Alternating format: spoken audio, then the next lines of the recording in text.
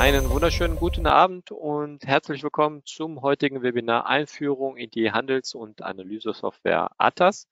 Ich freue mich sehr, dass wir heute äh, zusammen mit äh, Michael Burgstaller das Event äh, veranstalten können. Ähm, er ist ja der Experte für den deutschsprachigen Bereich ähm, in dem Thema ATAS und äh, freue mich auch, dass wir jetzt auch diese Partnerschaft haben und äh, für FX-Flat-Kunden das Ganze auch äh, anbieten können. Ähm, bevor ich äh, kurz weitere Informationen dazu gebe, möchte ich mich natürlich auch vorstellen. Mein Name ist Nelson Cardoso Neto und ich begrüße Sie im Namen von FX-Flat. Aber bevor wir jetzt fortfahren, müssen wir wie immer kurz über den Risikohinweis sprechen, denn ähm, auch dieses Webinar dient nur zu Schulungs- und Informationszwecken. Das ist ganz wichtig. Unabhängig von dem heutigen Inhalt müssen Sie Ihre eigene Entscheidung treffen und dürfen dieses Event äh, bitte nicht als Anlageberatung oder Handelsempfehlung verstehen. Ja. Und ähm, genau, wie kurz angedeutet, bevor ich jetzt äh, den Bildschirm übergebe, zeige ich Ihnen die, unsere Webseite und wo Sie weitere Informationen äh, zu ATAS finden können und insbesondere, wie Sie als FX-Flat-Kunde die Plattform auch kostenfrei beziehen können. Die Bedingungen dazu finden Sie entsprechend auf der Unterseite und hier erhalten Sie schon mal ein paar Informationen zu ATAS, falls Sie die Plattform noch nicht kennen.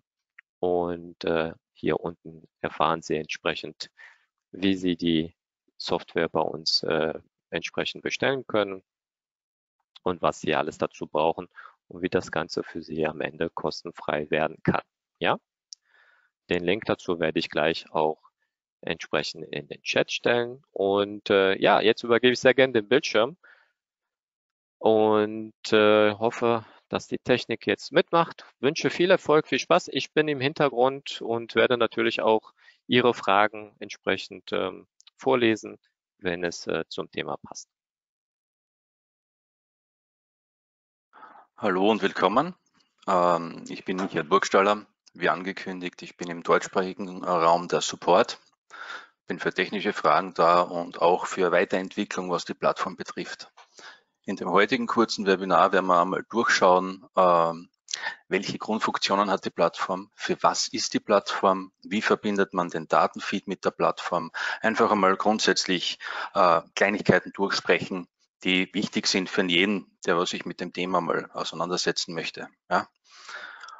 Ähm, Fragen sind bitte willkommen, ja. Bitte die ganze Zeit Fragen, Fragen, Fragen. Ich schaue, dass ich alles äh, beantworten kann, was so gefragt wird. Ja. Der Nelson wird mir das dann äh, weitergeben. Also grundsätzlich, die Handels- und Analyseplattform Atlas ist für das Orderflow und Volumentrading konzipiert worden. Ja, es ist natürlich auch möglich, damit technische Analyse zu machen. Ähm, es ist halt grundsätzlich darauf aufgebaut, in die Kerzen reinzusehen. Ja, also das ist ein Standard Candle Chart und in Atlas hat man sofort die Möglichkeit, in die Candles reinzuschauen und wirklich nachzusehen, was ist an welchem Preis passiert. Ja, das sieht man halt äh, im Normalfall nicht. Und mit Atlas wird es äh, grafisch so aufbereitet, dass man es eben sieht. Ist einmal grundsätzlich so, man hat eben diese Footprint Charts, 25 verschiedene Footprint Charts in Atlas zur Verfügung, um eben zu schauen, wie Preisbewegungen entstanden sind, und wo gewisse äh, Dinge im Chart passieren, die was man mit normalen Kerzen nie und nimmer sehen kann. Ja.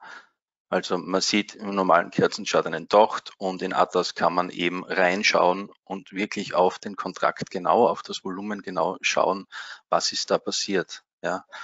Sind hier Verkäufer gewesen, sind hier Käufer gewesen und so weiter und so fort.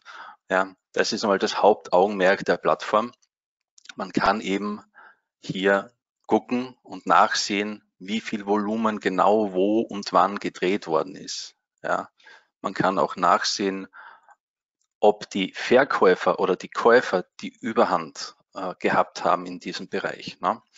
Und dann kann man natürlich auch schauen, wer eben im Moment das Zepter in der Hand hat. Grundsätzlich ist Atlas in Modulen aufgebaut. Ich werde jetzt ganz kurz durchswitchen damit wir das einmal alles gesehen haben, was es da gibt. Ja, also das ganz normale Charting mit allen Indikatoren, da werden wir später noch einmal äh, auf das zurückkommen. Das ist eben das erste Modul, das Chart-Modul. Hier hat man die Möglichkeit, verschiedene Volumenprofile, hier hat man die Möglichkeit, äh, Indikatoren hinzuzufügen. Ich glaube, es sind mehrere hundert mittlerweile, ja, zum Teil technisch, zum Teil eben für das Order Flow und Volumen Trading. Ähm, ja, also das ist eben dieses Chart-Modul mit allen äh, dazugehörigen Funktionen, die es gibt. Ja. Zusätzlich haben wir die Möglichkeit, Watchlisten anzulegen in dieser Plattform. Das ist eben das Watchlist-Modul. Ja. Und ganz wichtig, wir haben den Smart Dome. Das ist eben nicht so wie ein klassischer Dom, wie ihr das kennt. Das ist eben der Smart Dome, der ist frei design und konfigurierbar. Das heißt, alles, was ich dort drin sehen kann und will, kann ich mir so für mich einstellen, dass es wirklich auch Sinn macht. Ja, ich werde da ganz kurz jetzt mal durch ein paar Templates switchen, damit ihr seht, wie das ausschauen kann, ja, wenn man sich damit beschäftigt.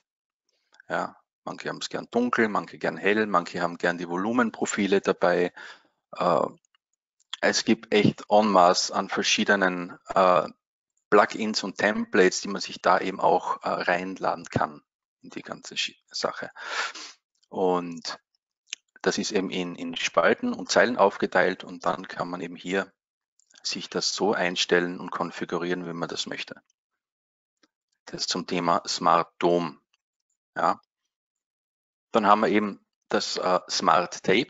Das ist eine moderne Times and Sales Liste. Wir sehen hier den S&P 500 äh, und sehen in Echtzeit, welche Orders hier durchgehen. Wir sehen hier die ausgeführten Market Orders und die Größen dazu.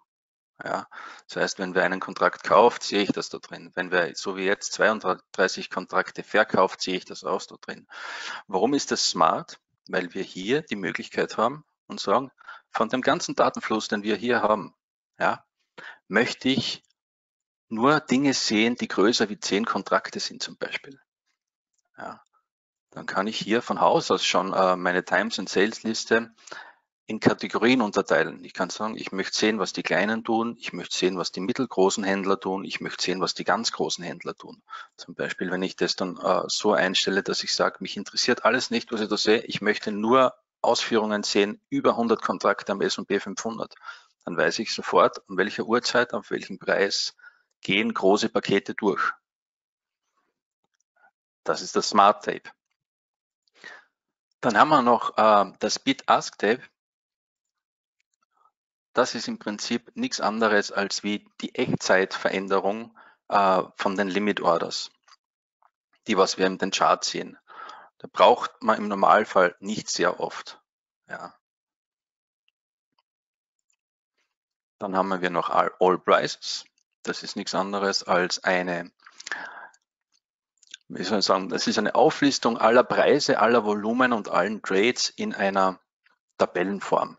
Da kann ich sofort sagen, das höchste und das kleinste Volumen ist auf 4.145 mit 17.703 Kontrakten aufgeteilt in 7.836 Trades. Hier haben wir die Möglichkeit, dass wir das eben in Excel exportieren äh, zur weiteren Bearbeitung. Ja. Es gibt äh, viele Kunden, die gehen her und haben eigene Tools, was sie Sachen auswerten und so weiter und so fort. Dann haben wir hier noch das News-Modul. Das News-Modul ist so aufgebaut, dass es äh, RSS-Feeds von Webseiten einbinden lässt. Das heißt, ich kann auf Bloomberg gehen, ich kann auf äh, MarketWatch, CNBC gehen und kann mir hier eben diese Market News kostenfrei und einfach in die Plattform holen und werde auch äh, informiert, wenn es was Neues gibt. Dann haben wir noch die Alarme. Ja. Jeder, fast jeder Indikator, jede Linie kann mit Alarmen versehen werden und hier ist in Wirklichkeit dann äh, die Zentrale, wo dann aus allen Charts ja, äh, die Alarme gesammelt werden und, und hergezeigt werden. Ja, hier kann man noch einstellen, ob man sich die Alarme via Telegram schicken lassen will, via E-Mail schicken lassen will und so weiter und so fort. Dann haben wir hier noch das Connections-Modul, auf das werden wir jetzt dann gleich genauer eingehen. Das ist in Wirklichkeit das, was man als erstes braucht, wenn man Atlas installiert hat. Ja, wenn man Atlas installiert, ähm, kann man ganz normal arbeiten damit, aber es wird sich nichts bewegen. Atlas braucht einen Datenfeed. Und diese Daten von der Börse bekommt äh, der Kunde von FXFlat vom MetaTrader 5. Das heißt, im MetaTrader 5 wird ein Expert installiert, dieser die Daten nach Atlas schickt, damit wir sie hier anschauen und auswerten können, aber auch handeln können. Ja. Ich werde euch das jetzt ganz kurz zeigen. Ja. Also dann gibt es eben diesen FX-Flat MetaTrader. Da macht man einen Future Chart auf und zieht sich diese Orderflow Trading ähm, Software auf den Chart. Dann steht hier oben Orderflow Trading und das war's.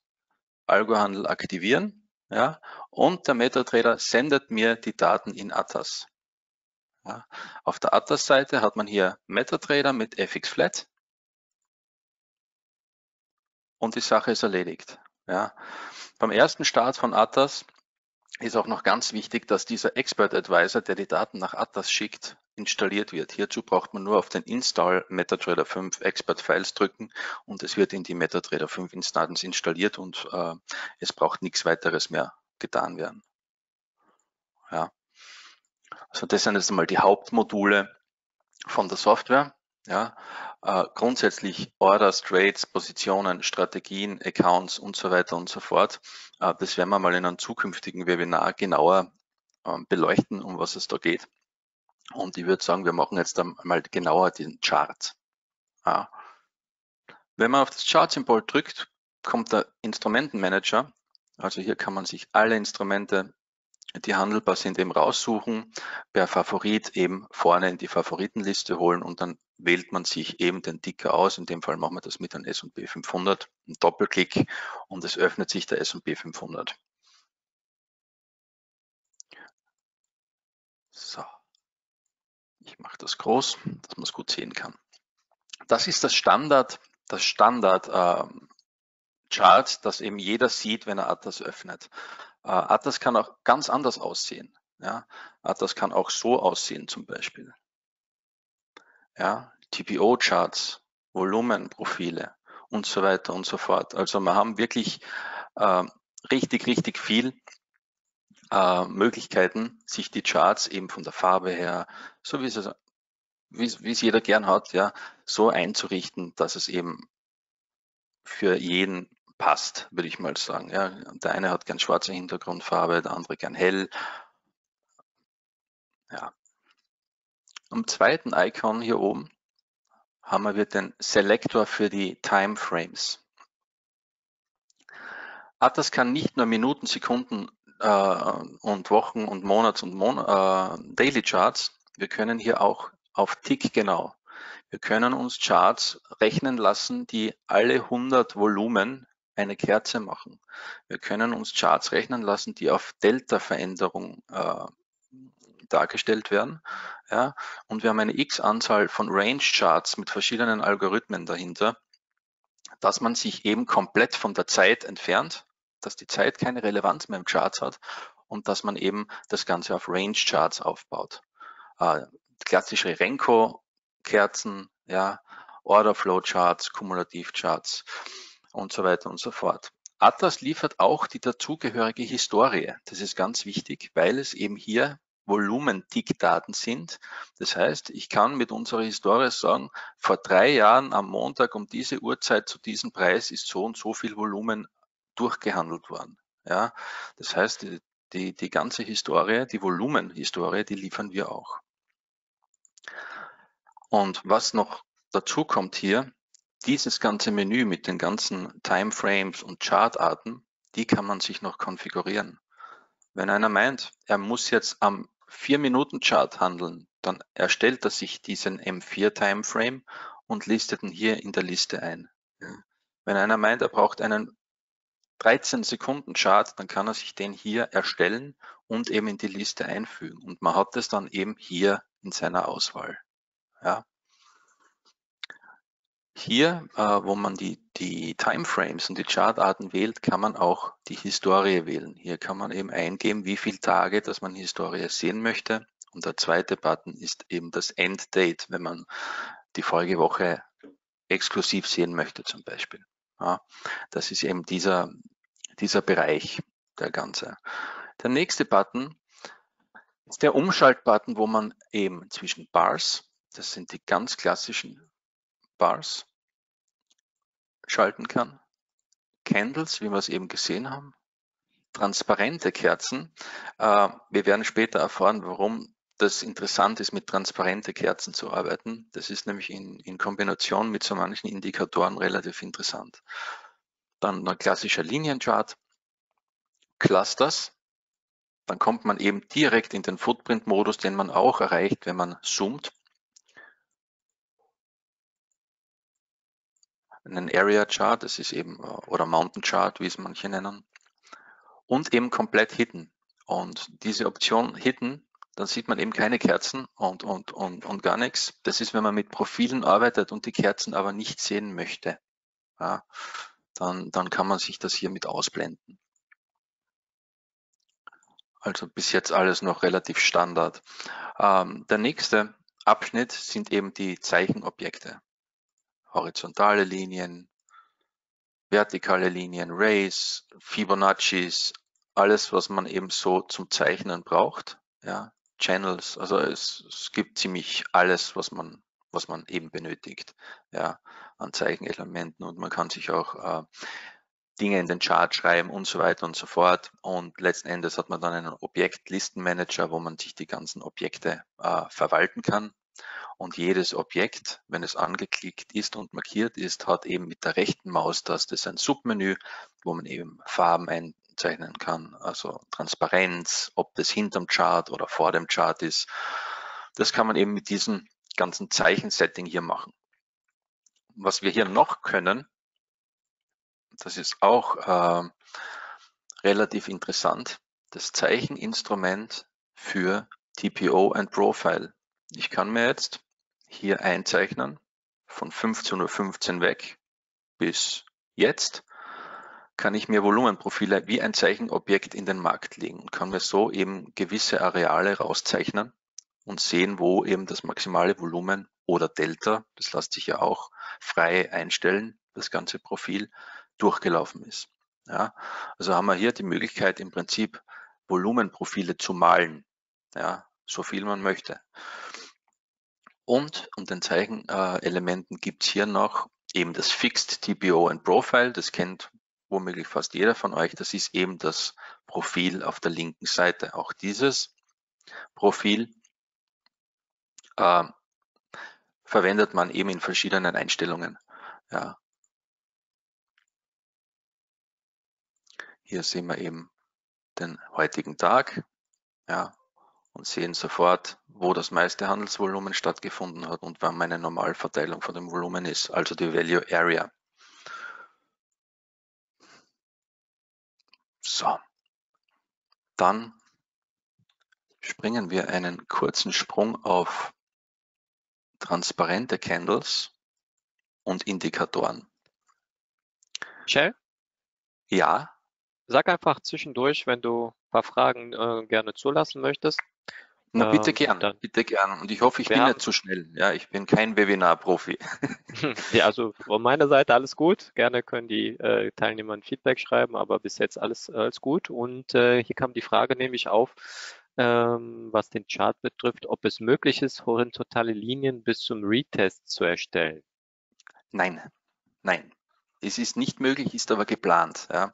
Wir haben dieses äh, Retest-Setting angefangen vor eineinhalb Jahren in alle möglichen Indikatoren und Tools einzubauen. Sprich, wenn zum Beispiel eine, ein POC regetestet wird oder sonstiges. Und wir sind jetzt eben dabei, das Ganze auch in den Zeichenobjekten äh, so zu fixieren, dass eben diese Linie nicht mehr weitergezeichnet wird, wenn es einen Preis-Retest gibt. Also das steht bei uns auf jeden Fall auf der Agenda. Okay, sehr gut dann äh, gerne weitermachen und hier du noch eine Bemerkung, dass dein Dialekt sehr super ist. ja, liebe Grüße aus Österreich. Ich hoffe, es versteht nicht jeder. sehr gut. Also, wir waren stehen geblieben, warum gibt es äh, transparente Candles? Es ist ganz einfach, weil es eben in Atas Tools und Indikatoren gibt, die auf Candles malen. Und eins dieser, dieser Tools ist eben dieser Cluster Search Indicator. Der ist in Wirklichkeit richtig interessant, weil man damit sehr, sehr, sehr viele Sachen machen kann und weil man sich damit auch Handelssignale generieren kann. Ja.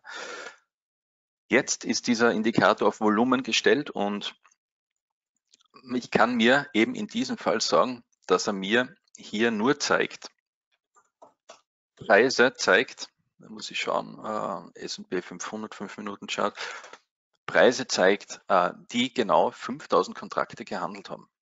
Ja, also in dem Fall 5000 Volumen sind hier und hier bei der heutigen Session zustande gekommen. Ja, und wenn ich eben transparente Candles habe, dann sehe ich das äh, natürlich besser, als wie wenn ich jetzt normale Candles habe. Und dieser Cluster Search Indicator macht dann nichts anderes als, ich mache kurz, ich mache kurz was auf. Moment.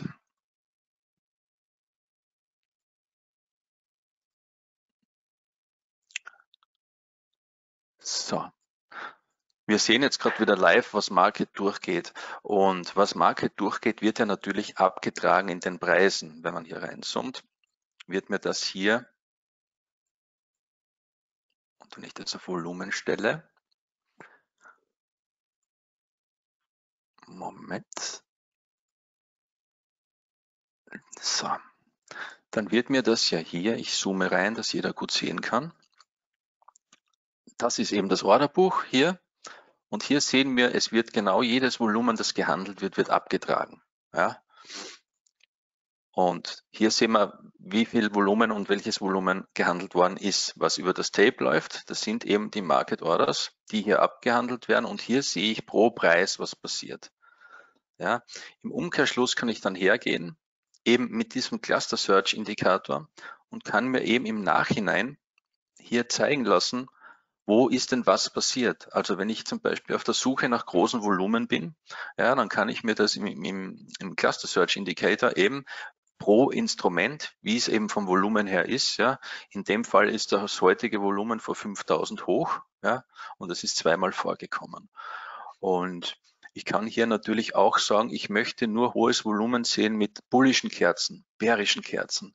Ja, ich möchte dieses hohe Volumen sehen, wenn es über zwei äh, Kerzen oder zwei Preisen vorgekommen ist. Das ist auch interessant, wenn man äh, versucht, dünnere Märkte über das Volumen zu glätten. Ja. Äh, die Location, also am Hoch, am Tief, am oberen Tocht, am unteren Tocht, das ist im Prinzip das Google für das Volumen. Ja. Also hier kann man wirklich alles suchen, was eben Volumen betrifft. Ja, das ist ganz, ganz wichtig. Äh, ich kann natürlich nur auf der Bid-Ask-Seite oder das Delta suchen. Ja, oder wie viel Zeit das der Preis dort braucht hat. Also hier kann man eben äh, relativ gut sehen, was passiert. Ich kann hier ganz kurz einmal was zeigen. Ja. Ich versuche es zumindest, wenn mich der Markt lässt hier.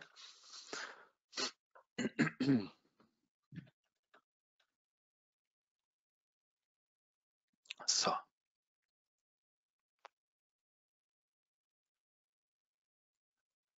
Ich schalte wieder um auf normale Candles im Moment. So, ich hoffe, man sieht jetzt einigermaßen gut, äh, dass diese Bereiche hier markiert sind. Ja. Und hier sieht man eben, dass hier dreimal vorgekommen ist, dass ein Delta über 1000 gehabt hat. Ja, das ist jetzt die ganze Handelssession nicht vorgekommen. In dem Fall ist es hier dreimal vorgekommen und hier unten ist es auch nochmal vorgekommen. Ja. In dem Fall würde ich das so interpretieren, dass hier dreimal eine erhöhte Anzahl von Käufern da waren, ja, positives, hohes, positives Delta. Das heißt, es ist um, um jeweils um, um 1371, 1316 und 1008 mehr gekauft worden, wie verkauft worden. Ja, und der Markt ist aber dann abgeschmiert. Das heißt, die Käufer, die hier drin sitzen, müssen am Weg nach unten irgendwann einmal glattstellen. ja, oder sollten glattstellen. Und hier haben wir genau das Gegenteil gehabt. Hier sind unten die Käufer in den Markt gekommen. Wir haben noch einen tieferen Retest gehabt von dieser ganzen Geschichte und unten und der Markt ist wieder gestiegen. Ja, und das sind halt Sachen, die man mit normalen Candles nie und nimmer sieht. Ja, und wenn man sich das Thema jetzt genauer anschaut, macht es umso mehr Sinn, wenn man es eben mit klassischen Ansätzen wie der technischen Analyse und, und sonstigen Geschichten, die es gibt, eben kombiniert. Weil damit hat man eben zusätzliche Trigger und zusätzliche Informationen vom Markt, die man so eben nicht gehabt hätte. Ja, es gibt Dutzende Ansätze und Strategien, äh, die eben auf, auf diesen Dingen beruhen. Für das sind wir halt nicht da. Wir machen halt kurz einmal äh, die Plattform durch, was sie alles kann. Ja, also man hat mit dieser Plattform echt ein, ein Toolset, wo man dann eben wirklich den Markt zerlegen kann in seine Einzelteile, ja, und eben wirklich sieht, wo was passiert, ja. Und naja, im Nachhinein ist man immer ein bisschen schlauer. Man sieht aber trotzdem, warum was passiert, ja, zum großen Teil. Und man kann sich das relativ gut aneignen, wenn man das ein bisschen studiert und macht. Ja. Ähm, lieber Nelson, haben wir noch ein, zwei Fragen zum Chart? Ja, äh, wir haben ähm, sogar drei Fragen gehabt. Eine hast du jetzt gerade beantwortet, nämlich äh, was genau ist Delta? Ähm, und ansonsten haben wir noch, kann man eventuell von Atlas schon fertige Vorlagen, Templates, wie beispielsweise den TPU-Chart herunterladen? Äh, wir haben einige Templates auf der Atlas-Webseite, aber ich denke, wir werden da ein paar zur Verfügung stellen, eben speziell für FX-Flat-Kunden. Ja? Also die sollten dann jeder kriegen, das TPO und die anderen Geschichten. Die können wir zur Verfügung stellen. Es gibt auch im Internet einige, aber wir können da speziell für eure Kunden ein paar erstellen. Ja, super. Und die zweite Frage ist, äh, können auch mehr als ein Markt mit Echtzeitdaten gleichzeitig versorgt werden? Ja, natürlich, natürlich. Ja, also wir haben das getestet. Es ist 8, 9, 10, 11, 12 Märkte, sollte kein Problem sein. Die kann man simultan anschauen und man braucht auch nur im MetaTrader eben in einem Markt diesen Expert Advisor. Ja, sollte kein Problem sein. Okay. Super, dann gerne ja, weiter. Dann gerne weiter. Also das wäre eben dieser Cluster Search Indikator und wie gesagt, der ist halt relativ, relativ äh, mächtig, würde ich mich jetzt sagen trauen. Und wenn man die Steuerungstaste drückt und eben über diese Cluster fährt, die der Indikator markiert hat, kann man sich hier noch anzeigen lassen, was genau hier los war. Ja. Ich möchte noch ganz kurz ähm, am S&P 500, von mir aus am H4-Chart äh, kurz was zeigen. Ja, es dauert eine Sekunde, bis ich das gesettet habe.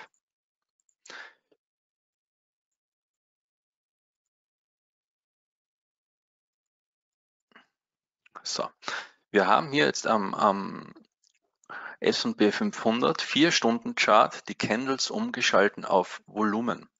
Das heißt, alle vier Stunden Candles, die ich hier sehe, ist in Wirklichkeit ein echtes Volumenprofil. Ja. Und das ist jetzt schon sehr interessant für Leute, die sich eben mit Volumenprofilen auskennen und damit arbeiten. Aber es wird noch viel interessanter. Ich mache mal kurz hier den Hintergrund finster, dann wird es für euch besser zu sehen sein. So, und das weg. So. So, jetzt haben wir eben pro äh, 4-Stunden-Kerze haben wir hier ein Volumenprofil generiert.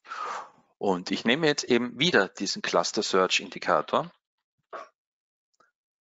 und möchte jetzt rausfinden, in welchen Bereichen relativ viel gehandelt worden ist. Ja? Und dazu muss ich da jetzt ganz kurz ein paar Settings einstellen. Das dauert einen kleinen Moment.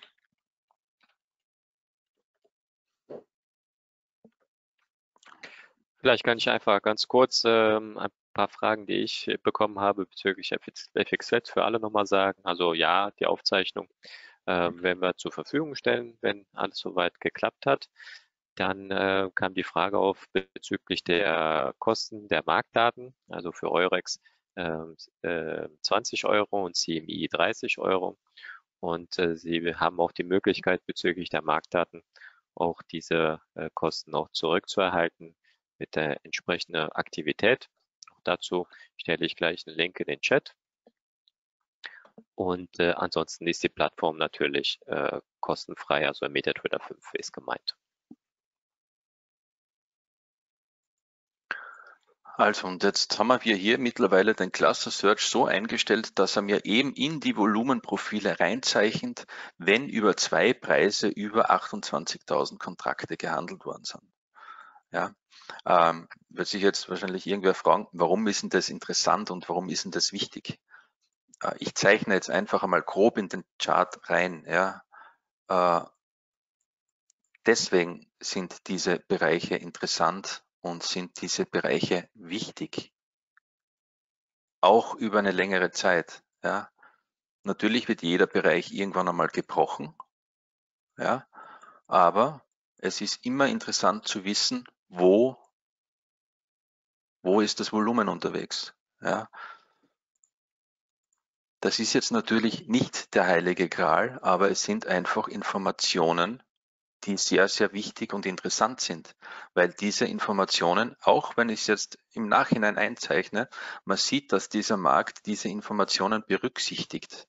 Hier sogar noch zwei Tage vorher oder einen Tag vorher. Ja. Und Atlas macht in dem Fall nichts anderes und das ist eigentlich unser, unser Credo, äh, komplizierte Marktdaten so aufzubereiten, damit man das visuell relativ geschickt äh, und, und schlau äh, verarbeiten kann. Ja? Man sieht es so einfach nicht.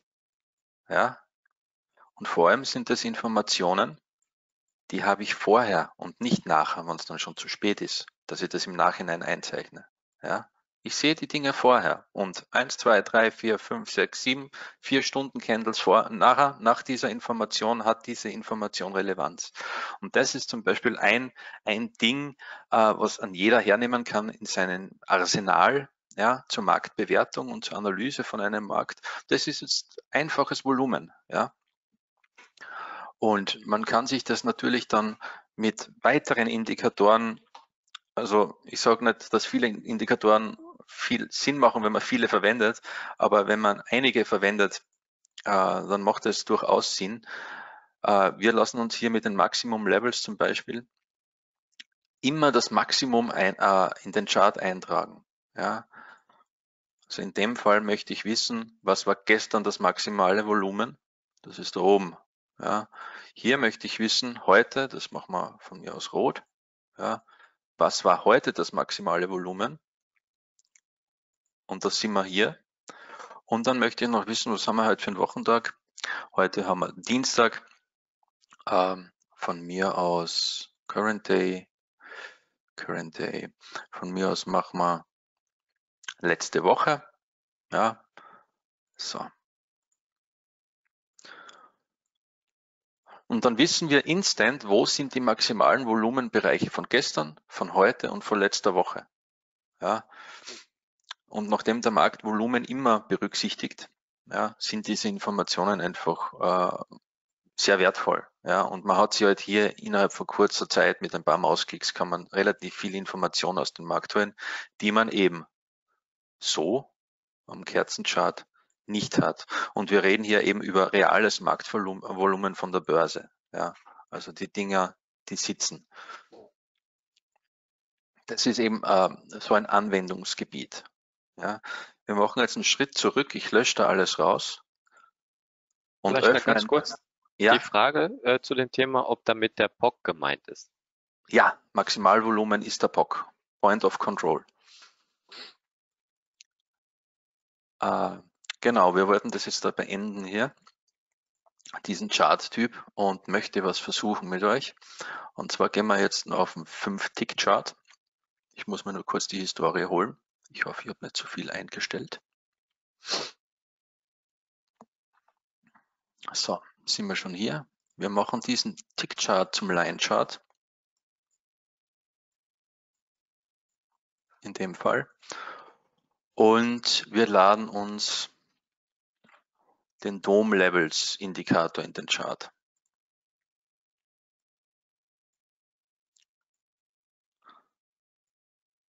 Das ist jetzt eher wieder interessant für relativ kurzfristige Händler.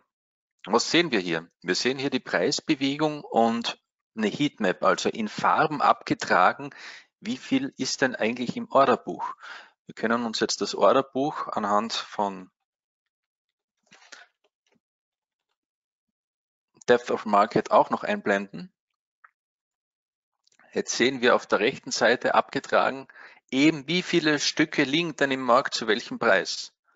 Ähm, und der Dome Levels Indikator, den ich hier jetzt eben über den Chart ähm, gelegt habe, der macht nichts anderes als wie, der merkt sich das, was wann wo war und, und macht eben eine Heatmap draus. Und das kann sehr, sehr interessant sein, eben um gewisse Levels, wo viele Marktteilnehmer drin sitzen und auf Ausführung warten, schnell und visuell auch wieder äh, schön aufbereitet zu sehen. Ja. Man sieht auch hier zum Beispiel, dass dieses Paket von drei großen Orders hier sich mit dem Markt mit nach unten bewegt. Ja. Man kann auch hier sehen, wenn äh, Spoofing betrieben wird. Man sieht hier, wenn äh, gewisse Algorithmen reinkommen, man sieht das einfach, wie sich die am, am, auf der Preisskala abarbeiten. Ja. Und man kann sich das natürlich auch auf einen 5-Minuten-Chart legen, aber dann ist man halt nicht mehr so nah am Markt. Ja. Dann hat man halt die Levels am 5-Minuten-Chart eben mit großen Ordern. Und hier gibt es natürlich auch wieder, also wir könnten wahrscheinlich ein Webinar fast für jeden Indikator hier machen, äh, x Einstellungen, äh, die man treffen kann. Natürlich sehr abhängig von dem Markt, äh, den man, den man äh, beobachtet und analysiert. Ja. Hier sieht man halt jetzt genau in dem Moment, das ist gut, dass wir da gerade zuschauen, dass er in etwa ja, 20 Ticks oben und unten jeweils ein Dreierpaket äh, mit dem Markt mitläuft. Ja. Also da versucht auch wieder wer Spoofing zu betreiben. Und man sehen sofort, dass weiter oben hier auf der Ask-Seite überproportional viele warten. Ja. Und das ist zum Beispiel jetzt nur ein Indikator, der eben äh, für das da ist, dass man eben reinschauen kann und auch bis auf die Ebene der Algorithmen schauen kann. Ja. Ein, ein weiteres Gebiet wäre zum Beispiel die Möglichkeit, äh, einige von euch kennen sicher COD-Daten, ja. Äh, sowas ähnliches gibt es eben für Volumen auch. Ja. Also ich mache okay. jetzt kurz mal, ja. Bevor du ganz kurz zum nächsten äh, Punkt kommst, äh, noch eine ja. Frage zum äh, letzten Bild.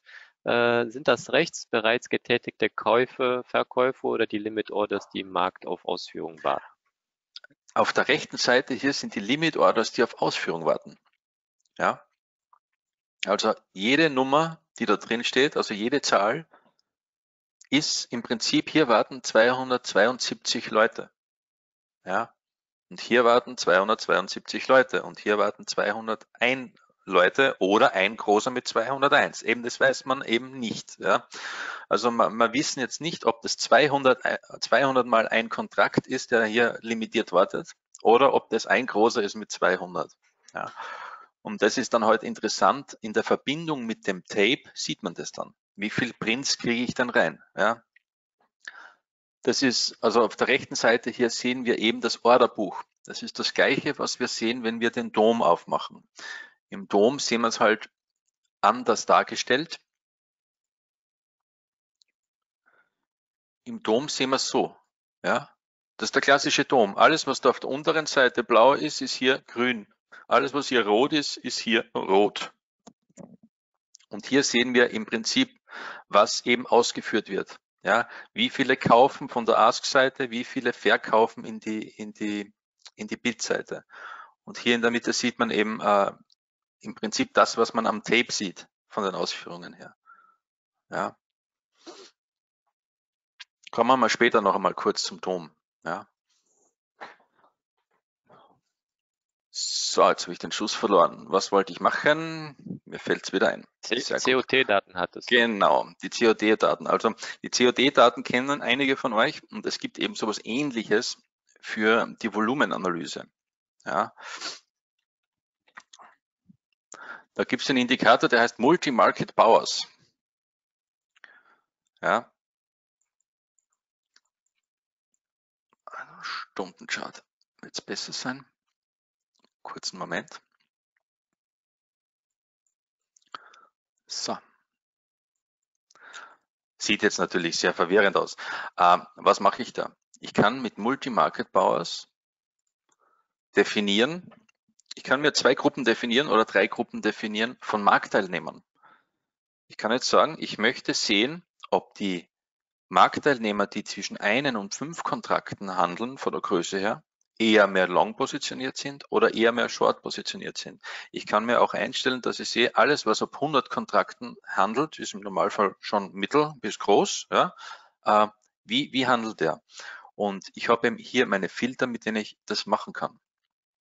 Ja, für die Einfachheit äh, machen wir es einmal mit zwei Filtern. Ich sehe jetzt eben auf der blauen Linie, wird man schwer sehen, ich mache eine andere Farbe draus. So. Auf der blauen Linie sehe ich äh, Marktteilnehmer, die eben zwischen 0 und 5 Kontrakten handeln. Ja? Und die rote Linie stellen wir uns jetzt ein. Was wird ein großer Händler sein? Der was ab 20 Kontrakte bis 500, also die ganz großen Kontrakte handelt. So, also, rot kleine, nein, rot große und blau kleine Marktteilnehmer. Und mit diesem Indikator wird eben zerrissen aus, dem, aus der Times and Sales Liste, dort wo das ja alles drinnen steht von den Ausführungen her, große Ausführungen, kleine Ausführungen, Uhrzeit und so weiter. Hier kann ich mir dann eben Linien zeigen lassen, die mir sofort sagt, dass die blaue Gruppe hier noch immer am Verkaufen ist, obwohl die rote Gruppe hier zum Kaufen anfängt. Ja, können wir nochmal schauen. Die rote Gruppe sind die Großen. Und die blaue Gruppe sind die Kleinen. Natürlich ist das kein Handelssignal, aber es ist halt immer sehr interessant, äh, auf allen möglichen Märkten zu schauen, wie sich bestimmte Gruppen von, von Händlern verhalten. Also die kleinen, so wie ich, ja, eins bis fünf Kontrakte, dann gibt's ein Mittelfeld und dann gibt's eben die schweren Jungs. Und so sieht man halt, ob die schweren Jungs äh, eher mehr verkaufen oder kaufen im Moment. Und das kann auch interessant sein. Ja. Und das ist auch eine Volumenanalyse, ja, nur eben anders. Und es gibt halt sehr viele, sehr, sehr viele Ansätze, äh, die man, die man damit machen kann, ja. Das wäre es jetzt einmal für diesen kleinen Ausflug in den Market Powers Indikator. Äh, zum Thema Dom, weil das gerade vorher gekommen ist. Ich werde das jetzt noch einmal aufmachen. Im Dom sehen wir im Prinzip das gleiche wie hier. Oben die Ask-Seite, unten die Bit-Seite, in der Mitte die Ausführungen. Wenn ich mir jetzt das, und wenn ich den Dom nicht verwende, dann brauche ich eben am Chart diesen Indikator, dass ich die Markttiefe sehe, die Bid- und Ask-Seite. Und ich brauche aber auch ein Tape, damit ich sehe, was ausgeführt wird. Ja, und äh, so manche Profis arbeiten nur mit dem Dom. Ja, die schauen halt ganz genau, was ist da drinnen los im Orderbuch, was steht drinnen und was wird ausgeführt. Und was Atas natürlich auch kann und was sehr interessant sein kann, ist nicht nur zu sehen, was jetzt los ist, das kann ja jeder. Äh, ich kann einmal mir die Änderung, die Changes sagen lassen. So, ich muss das nur kurz konfigurieren. Ja, das ist Ask, das passt und das machen wir Bit. Schieben das darüber, damit wir sehen, was los ist. So, die Ask-Seite schieben wir auch noch. So, das müsste jetzt passen. Jetzt machen wir da kurz diesen und diesen. So, wir sehen jetzt hier, das ist noch ungefiltert, deswegen ist da ziemliches Chaos. Wir sehen jetzt in Echtzeit, wie viel abgezogen und draufgelegt wird auf diese ganzen Preisbereiche hier. Hier sehen wir jetzt zum Beispiel live sehr schön, dass hier extrem viel reingelegt wird. Ja, also wird hier gerade richtig viel äh, im Limitbuch nachgeschoben, wenn es gekauft wird.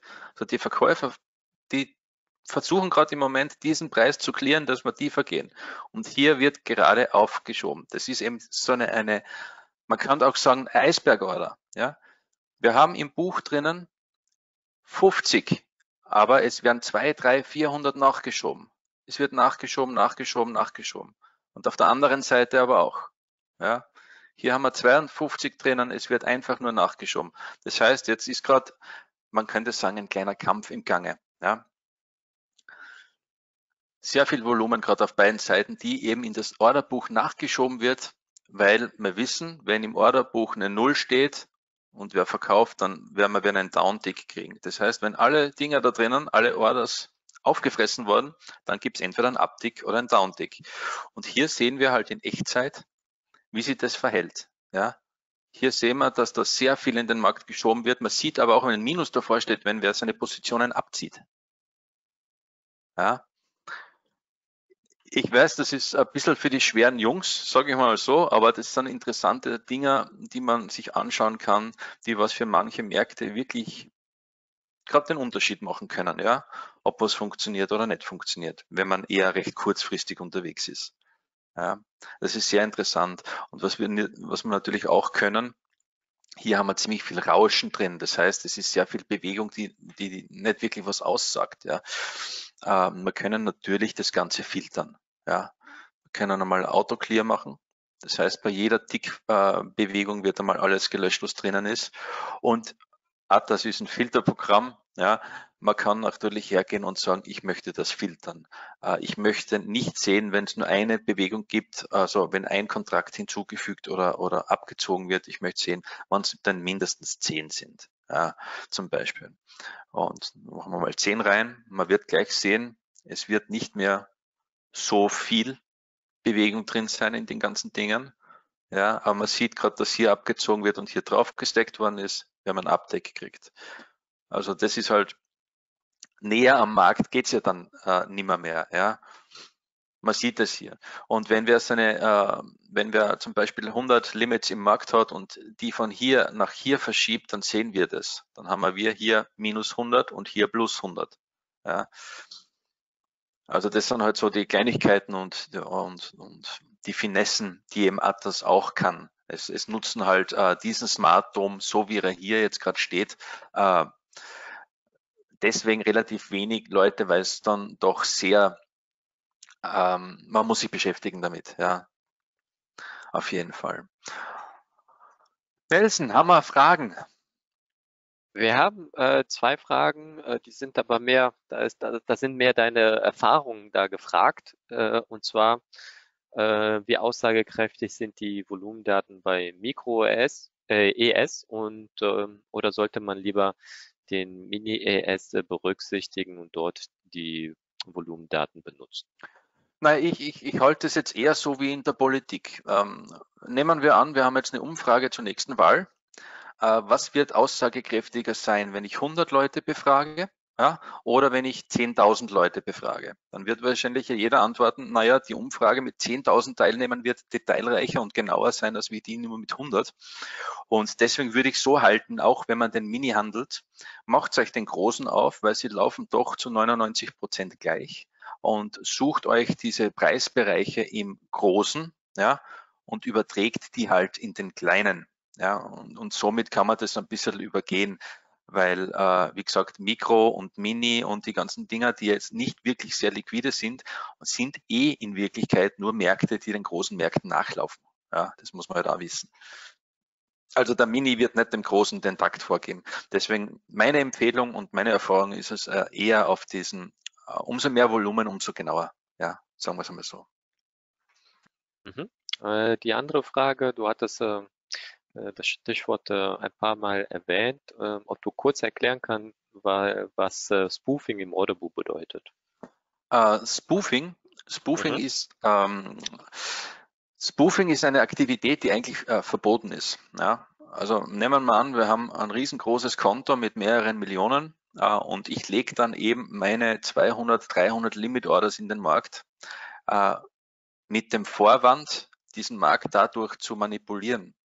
Ja, wenn man sich das, wenn man sich das hier eine Zeit lang anschaut, wir sind jetzt hier am S&P 500, äh, natürlich nicht jetzt in dem Moment, aber wenn man sich das jetzt einmal über ein, zwei Sessions anschaut, was sich hier tut und wie sich der Preis äh, beeinflussen lässt, wenn hier große Order reinkommen, überproportional große Order, ja, äh, dann wird man schnell sehen, dass sich der Markt, so wie jetzt in dem Moment, ja, jetzt sind überproportional große Orders reingekommen.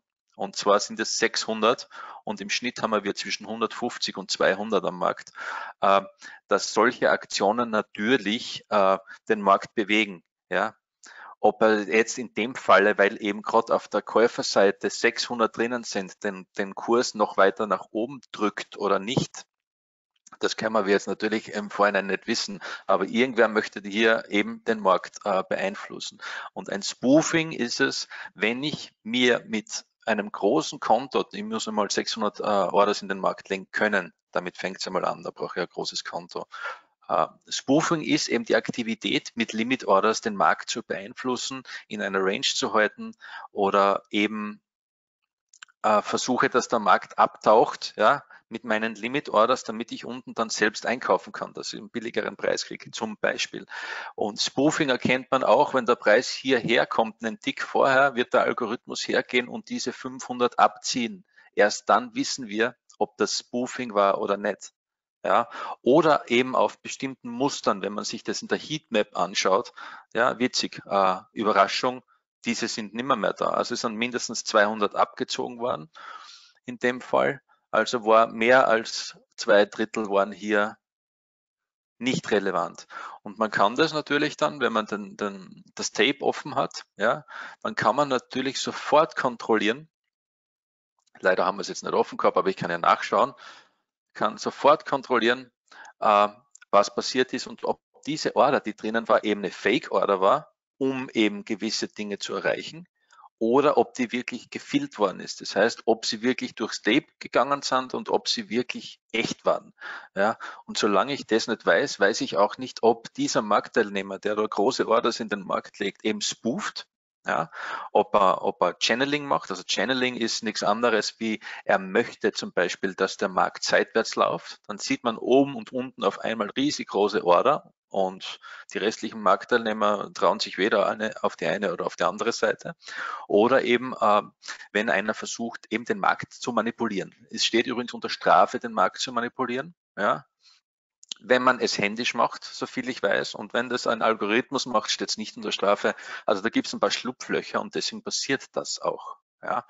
Und das ist eben die große Krux mit den Fake Orders hier drin. Da muss man extrem aufpassen, ja. Weil wenn, wenn man da nicht aufpasst und es sind hier auf einmal große Kauforder drinnen, ja, und dann sagt man sich, wow, die Großen gehen da hier lang, da sind 600, 700, 800 Kontrakte drinnen, vielleicht sogar noch auf zwei, drei Leveln äh, und die Masse drückt dann auf Kaufen und der zieht dann aber in der nächsten Sekunde seine insgesamt 1500 Limit Orders ab und der Markt, Markt taucht ab, dann ist man mit einer Long-Position im Markt. Ja, und man weiß aber, wenn man es eben wie in einem Standardprogramm sieht, wie hier, dann weiß man nicht, warum das passiert ist. Dann hat man eben diese Information nicht. Ja, und, und wie gesagt, und das sind eben diese Dinge. Äh, das Volumen und Order Flow Trading ist kein heiliger Gral, nochmal. Aber es gibt eben extrem viel mehr Information her. Ja, und es ist, glaube ich, für einen Händler nichts mehr sexy, als wie so viele Informationen, vor allem auch wichtige Informationen zu erhalten, die eben die Masse nicht hat. Und, und deswegen sind wir da und deswegen machen wir diese Tools. Ja. Okay, ansonsten äh, haben wir tatsächlich eine Frage noch offen, die äh, und zwar ob ein Heatmap integriert ist, aber das hattest du ja auch vorhin gezeigt. Ja, Heatmap ist integriert.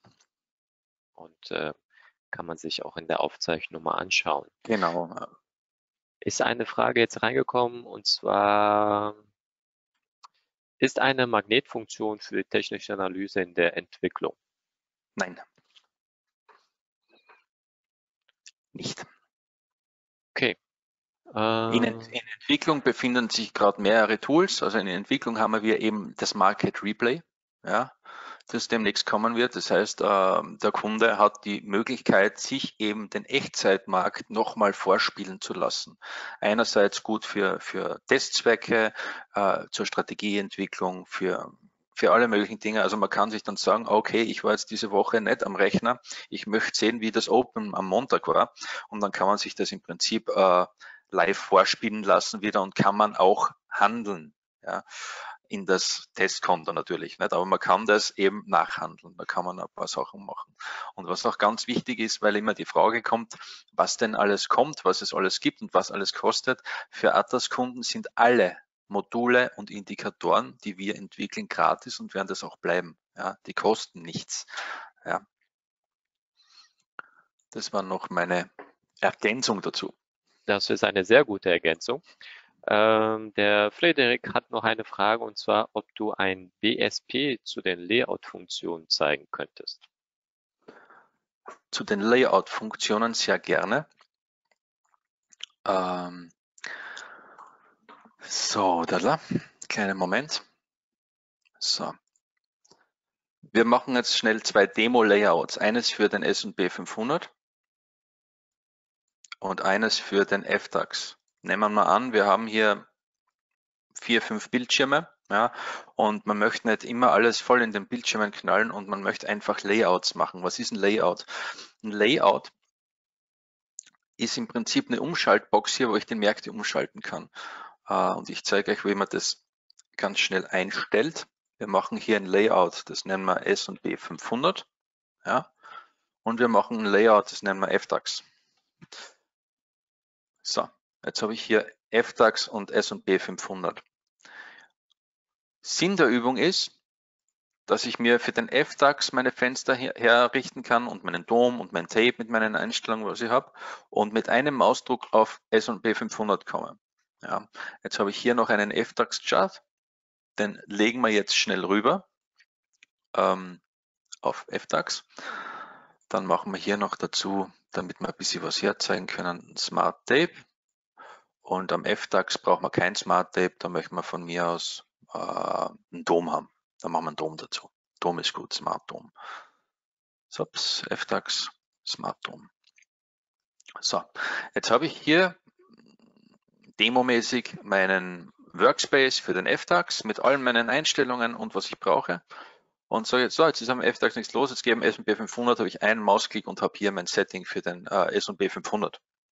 Ja, und das ist eben frei skalierbar. Man kann sich da Märkte reinlegen, äh, bis der Rechner nicht mehr kann.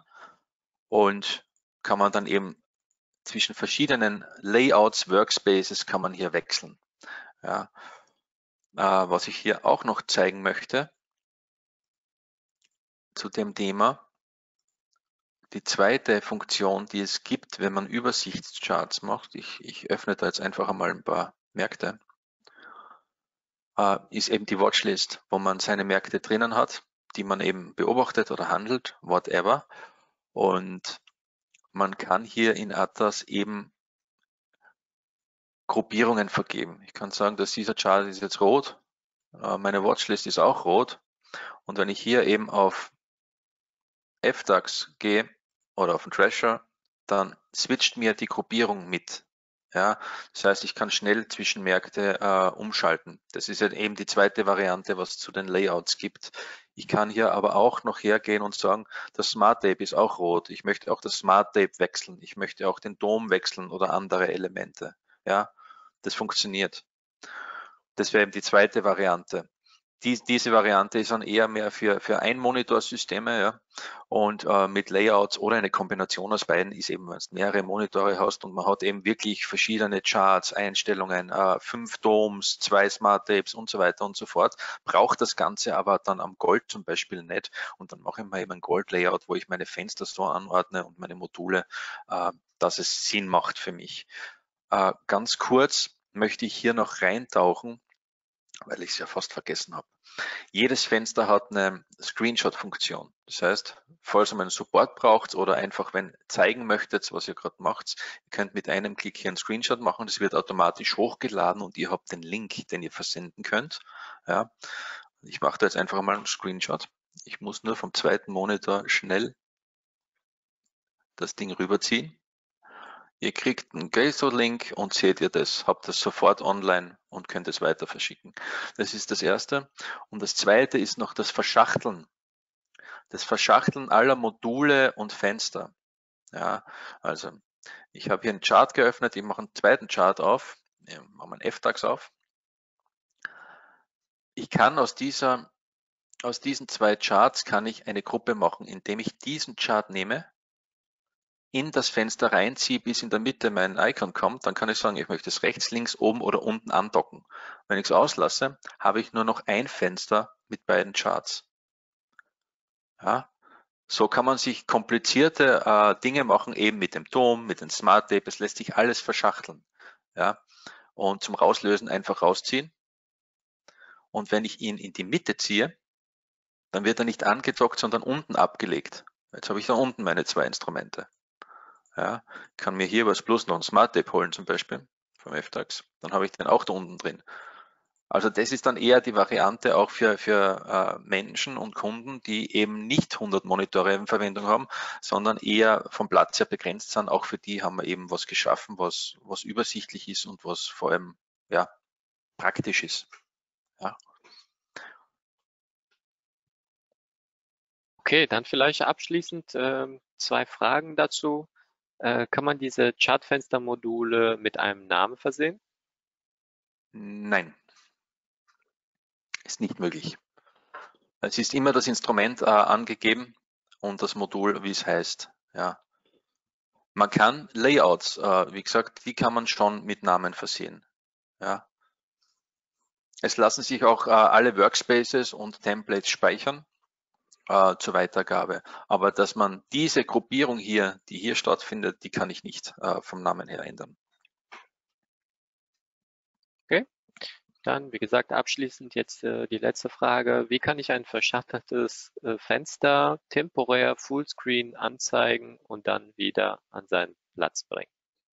Diese Funktion ist in Entwicklung. Ja, das Problem ist dieses, ich zeige es kurz live her. Wir wissen von dem Problem. Man hat jetzt hier einen verschachtelten Chart, verschachteltes Fenster. Äh, man kann das natürlich Fullscreen machen, ganz normal. Aber wenn man jetzt haben möchte, dass eben nur dieser linke Chart Fullscreen gezeigt wird, ja, muss man ihn leider Gottes bis dato noch rausziehen, Fullscreen machen und dann wieder reinstopfen in die Verschachtelung. Äh, und es ist aber jetzt ein Button in Entwicklung, wo man wirklich mit einem Mausklick raufdrückt, dann geht das in Vollscreen, dann drückt man nochmal drauf und dann geht es zurück in die Verschachtelung. Es ist äh, von der Programmierung her ein wenig komplexer, deswegen dauert das ein bisschen. Aber wir wissen von dem Problem. Ja. Wir möchten hier auch eine, eine angenehme Lösung schaffen, dass das funktioniert. Okay, jetzt wirklich aber die letzte Frage tatsächlich. Was ist der Unterschied zwischen Workspace und Layout? Ähm, das ist relativ einfach zu beantworten. Der Workspace als Datei ist das gesamte Ding. Also das heißt, das ist alle Layouts, die du drinnen hast, alle äh, Templates, die du drinnen hast, ähm, alle Einstellungen, die du drinnen hast, das als Gesamtes wird im Workspace gespeichert, kann man speichern. Ja?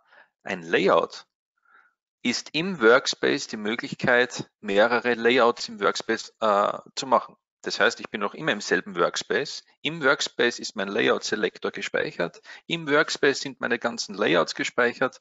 Und das ist eben das Layout. Das Layout ist im Prinzip nur ein Umschaltmodul. Das Layout ist wie ein Umschaltmodul und der Workspace, diese Datei, die man speichern kann, ist der gesamte äh, der gesamte Arbeitsbereich, inklusive aller Layouts, aller Charts, aller Module. Also wenn ich zum Beispiel äh, mein Arbeitslayout habe zu Hause, ja, ich speichere mir das ab und möchte das jetzt bei der Arbeit auch verwenden, äh, mein Arbeitsworkspace, sorry, dann speichere ich diesen Workspace ab, mache ihn in der Arbeit auf und habe genau meine gleiche Arbeitsumgebung mit dem Layout, mit allem drum und dran. Ja. Das ist, also der Workspace ist wie gesagt das große Ganze, wo alles abgelegt ist und das Layout ist innerhalb des Workspaces das Umschaltmodul. Sagen wir es so, das ist recht einfach. Super. Ansonsten kommen äh, die ersten Feedbacks rein äh, und äh, bedanken sich sehr für das äh, Webinar. Äh, dem möchte ich mich auch wirklich anschließen. Sehr interessant ähm, und ähm, auch wirklich eine tolle Software. Ähm, genau, jetzt äh, kommen sehr viele Feedbacks rein, also war super, vielen Dank, tolles äh, Webinar, toll, vielen Dank. Ähm, freu, freut mich natürlich auch, äh, dass Sie äh, da entsprechend äh, das in Webinar gut angenommen haben und das für Sie interessant war. Äh, ich bedanke mich sehr bei Michael, dass er sich die Zeit für uns heute genommen hat. Und ähm, ja, also wirklich, Michael, wenn du das sehen könntest, ganz viele positive Feedbacks. Das und mich. Sie sind ja alle schon für den nächsten Termin bereits registriert. Also der erste, der erste Sechste ist dann der zweite Teil. Ich denke mal, hoffe, dass es nicht der letzte Teil wird, ähm, wo wir entsprechend weitermachen können. Ich äh, bedanke mich schon mal an der Stelle für die Teilnahme, wünsche einen schönen Abend ähm, und natürlich noch eine erfolgreiche Trading-Woche. Und äh, Micha, du hast sehr gerne das Schlusswort. Vielen Dank. Ja, danke fürs Dabeisein. Ich hoffe, der Dialekt war dann doch nicht so schlimm. Ja? Und wir sehen uns dann beim nächsten Mal ja? mit neuen interessanten Themen. Für euch. Super, vielen Dank. Tschüss.